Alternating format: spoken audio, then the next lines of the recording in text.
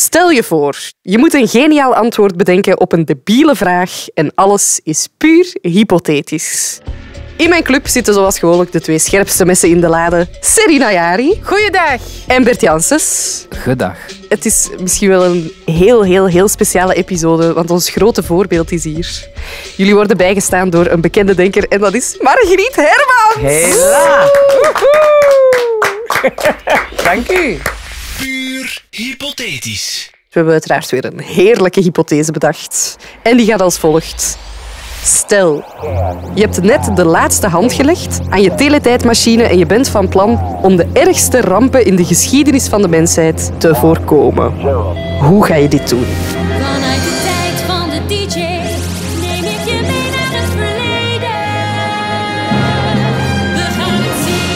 Eerst en vooral proficiat met het afwerken van jullie teletijdmachine. Dank u. Ik dacht nooit dat het ging lukken, maar Ja, iedereen was eh, sceptisch, maar eh, uiteindelijk ik had er van in het begin al heel veel vertrouwen in. Ja. Dat wij dat als team samen gingen Ach, kunnen dat doen. begint altijd zo te brrrr de machine, hè. Wat gaan we er nu mee doen? Ja. We hebben hem nu. ja.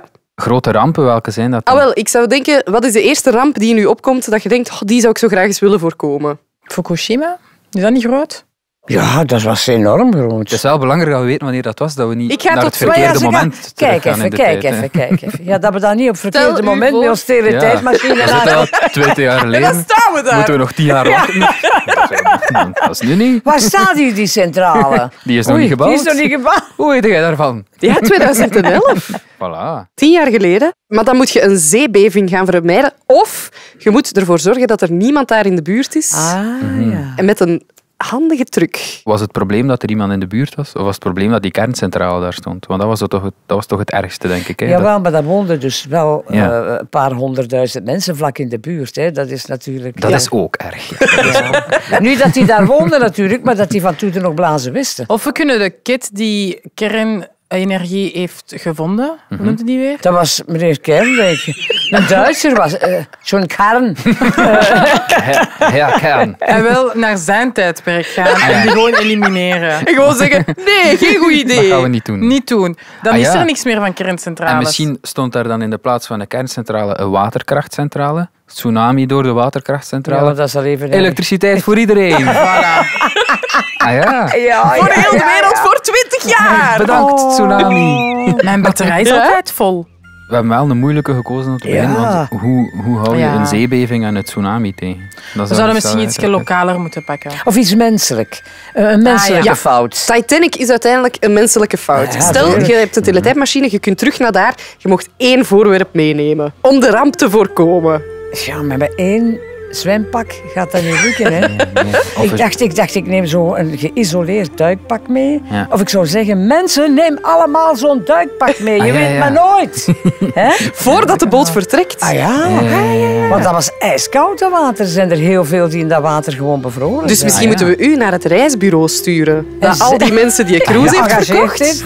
Ja. En dan zeggen, ik weet niet zo, maar... Ik verkoop eh, Ah, ja. duikpakken. En nog een centje bij. ja, ja, ja, ja. Ik dacht, eh, een goede verwarmingsje. Ah ja, dat vooraan. dacht ik eens. Een kacheltje. Zodat het smelt, En de al- ijsberg. ja, alle ijsbergen, voordat ze een gevaar kunnen betekenen voor het schip, zijn ze allemaal gesmolten. Gewoon een dikke blazer. Oh, goed idee, want nadien kun je daar dan voor gaan staan. En het terug opwarmen. Brrr, was toch fris hier, hè? Ja. Er is niks gebeurd, maar we hebben het wel warm.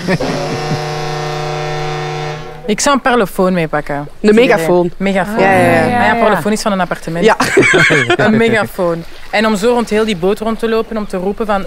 Mannekes, pas op, hè. Pas op voor, voor het Voor ijskoude de berg. water. Pas op, wat ze niet gaan het dood. Ja, voilà. Of als die zo opstappen, zeggen van... Je moogt, maar ziet gewoon dat jij het pakje hebt die te koop staat bij Margriet. Want Bert heeft een idee, maar ik weet kijk niet zo goed als die blazers gaan werken. Ja, ja, dat weet ik inderdaad niet. Want anders gaat de keivel moeten roepen om al die mensen te verwittigen. Maar zouden we niet best het probleem bij de... Een ijsberg oplossen. Nee, bij de kapitein. Want die heeft dat niet gezien. Ah, Dat kan maar dan denk ik, niet? je moet toch gewoon één grote vaar meenemen. Die schijnt op die ijsberg. Ja. Waardoor die al kilometers ver ziet. Ah, het is een ijsberg. Ik ga een bocht maken. Of wat we ook kunnen doen, is dat wij gewoon op een kleiner bootje voorvaren. en duwen. Ja. Nee, Nee, voor, roepen. voorvaren. En dan zeggen van, ja, kom maar, Volg ons. volg ons. Een loodsbootje. Ja, dus Voilà. we gaan zelf en we nemen een gummiboot mee. Voilà. En, eh, en we zeggen, kom Titanic, volg. Kunnen we dan aan die gummiboot ook een motortje hangen? Want ik ken dat. Ik zal kijk dat heel de tijd moeten roeien. met Titanic.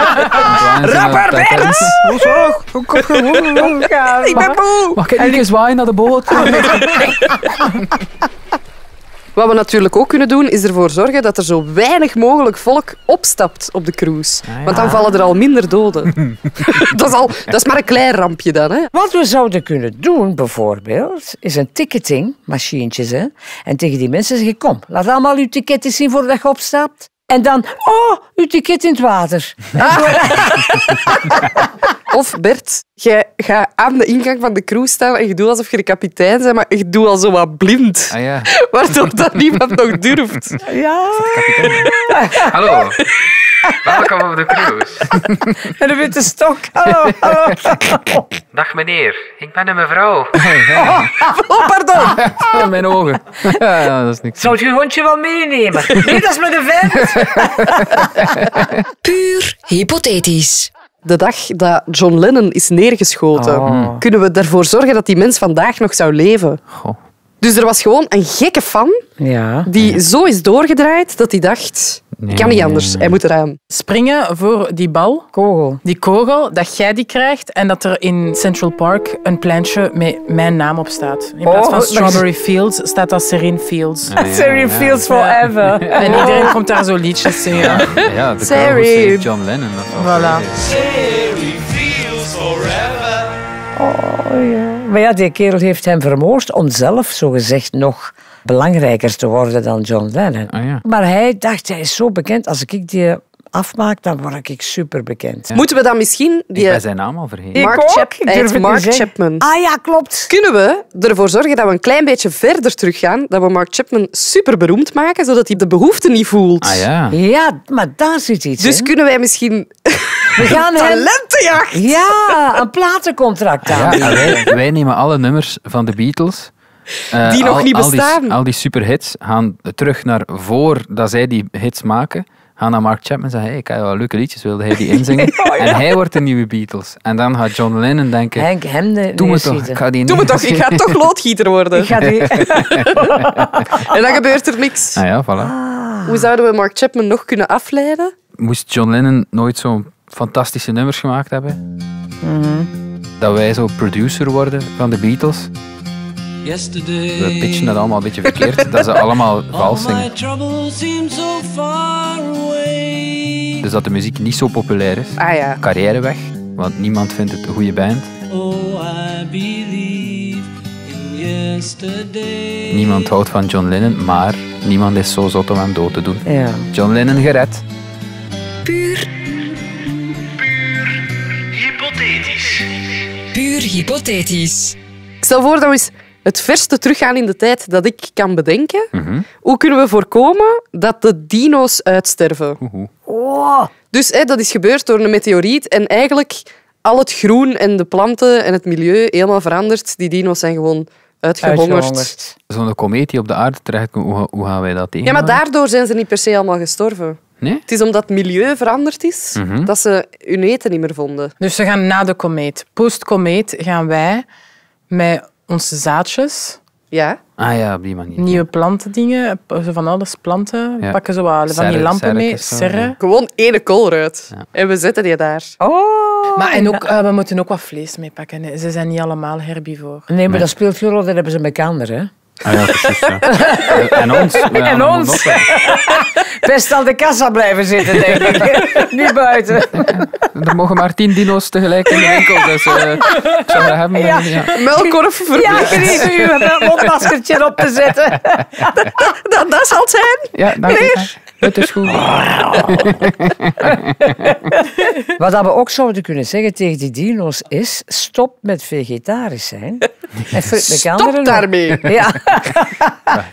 Debielen.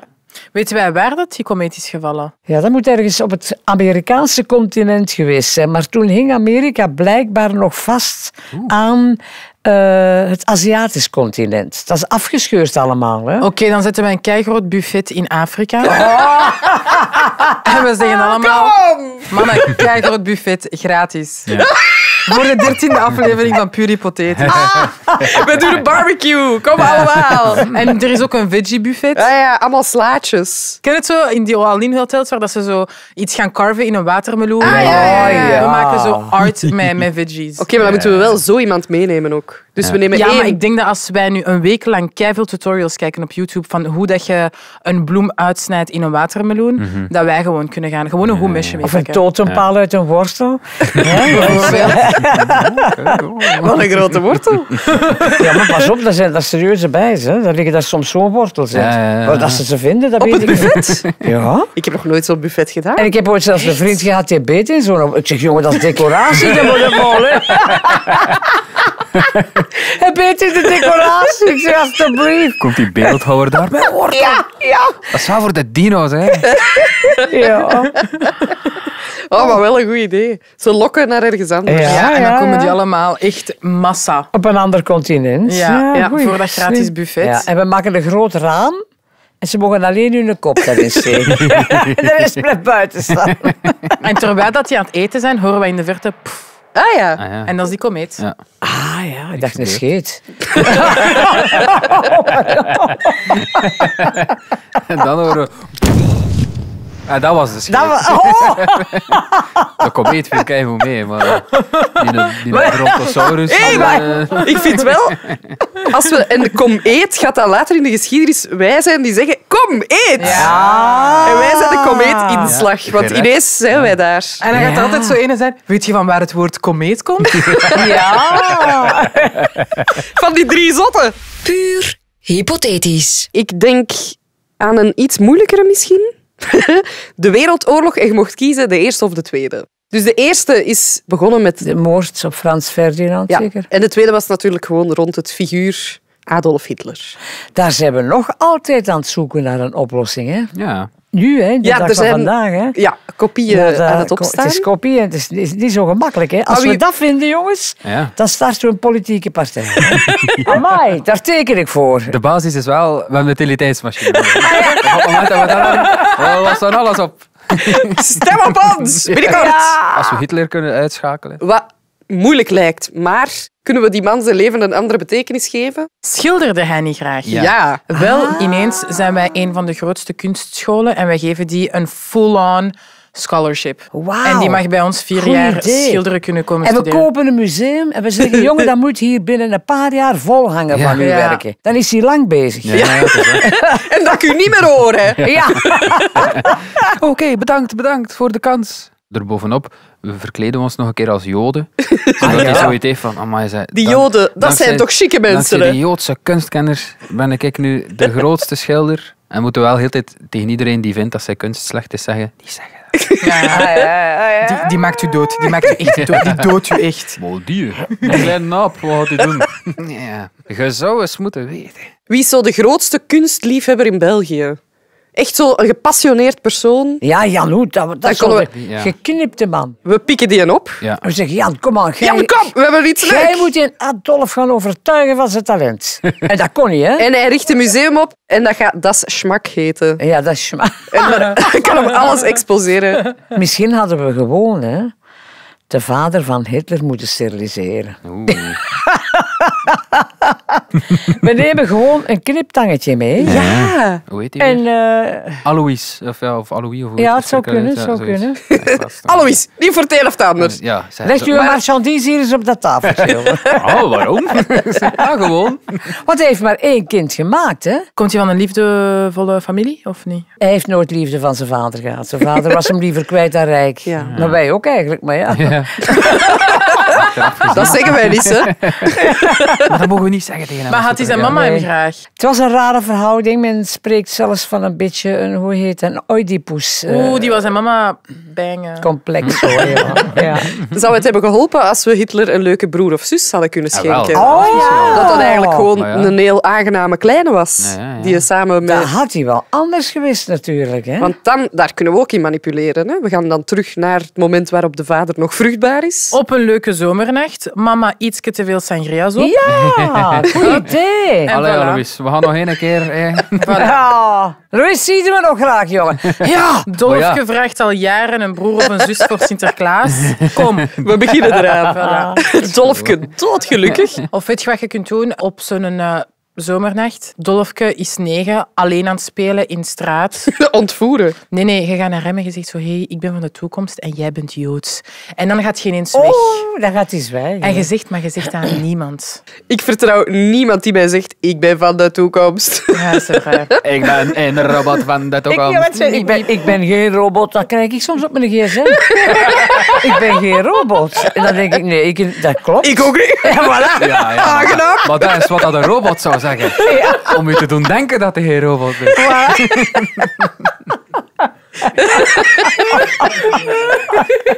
Ja, maar ik zag, de verkeers, ik zag de verkeerslichten niet hangen, dus ik denk, dat klopt niet. Wat is dat? Ik haat dat. Oh.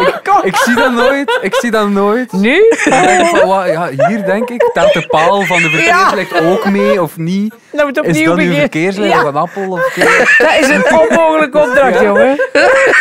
En soms heb ik het gevoel dat ze niet zo streng zijn. En dat Zo, zo allee, het is goed. doen. Maar ik heb, daar, ik heb daar ooit wel echt al een keer een kwartier mee bezig geweest met auto's aan te doen. of zo, of Dat is ook een. Waar dat staat een auto? Hallo. Dus ik ben denk ik wel een robot, want ik zit er, ik zit er altijd naast. Het is bewezen, maar is het, zelf toegegeven. Oké, dus we sturen Margriet terug naar Adolfje. Ja. En ik zeg, Adolf... Nee, Duik een keer alle lantaarnpalen. Voilà. Zijn- Ik ben geen robot. Ik ben echt geen robot. Hypothetisch. Serine, Bert en Margriet, bedankt voor al jullie antwoorden op mijn debiele vraag. Ik heb heel veel goede dingen gehoord, maar er kan natuurlijk maar één idee het beste zijn. En dat is Jan Hoed even gaan oppikken toen hij nog leefde en terugsturen naar de tijd om Adolf Hitler te overtuigen van een carrière als schilder. En tot op de dag van vandaag kunnen we zijn werk gaan bewonderen in Das Schmack. Äh, hallo iedereen und willkommen auf meine Exposition in das Schmack. Ich habe die afgelopen Jahren gewerkt an einen kompletten neuen Stil und ich bin ein sehr trotzen Mann. In die Saal auf das Gleichflurs hängt die Kollektion genannt Kristallnacht. Das ist ein sehr krappiges Verhaal. Ich habe zu viel Kristall gesoffen und ich kriege plötzlich eine Hingebung. Und auf die erste Vertippung hangen meine sehr erkennbaren Werken, so als ich habe Liebe meinen deutschen Hund, meine schöne Snöse und natürlich arischen Jungen mit einem langen Schwanz. Ich sollte van auf meinen Kampf willen bedanken, um mit so viele nach hier te komen und sich sehr veel heil vanavond. Danke, danke, danke allemaal, danke. Das ist zu viel, das ist zu viel, danke, danke. Serena Jari, Margriet Hermans, Bert Janssens. Jullie zijn zo hard bedankt. Ik wou dat we nooit meer weg moesten. Zullen we gewoon blijven voor één? Yes. Woehoe! Yay! Puur hypothetisch. Wil je trouwens zelf een leuke hypothese insturen of heb je nog een fantastisch debiel antwoord op een van onze vragen? Stuur ons dan een mailtje op puurhypothetisch.stubru.be.